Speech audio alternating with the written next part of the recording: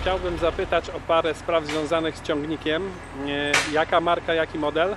MTZ Belarus 820 E, A rocznik? 2018. E, Proszę powiedzieć, do czego Pan wykorzystuje ciągnik? Do jakich prac? Ciągnik głównie i na co dzień pracuje przy zrywce stosowego drewna, aczkolwiek raz na jakiś czas również wykorzystujemy go do ciągania tartaczek.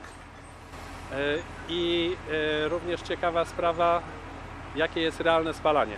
Realne spalanie. Po pół roku użytkowania tego ciągnika spalanie nam wyszło mniej więcej 16 litrów na dzień pracy ciągnika.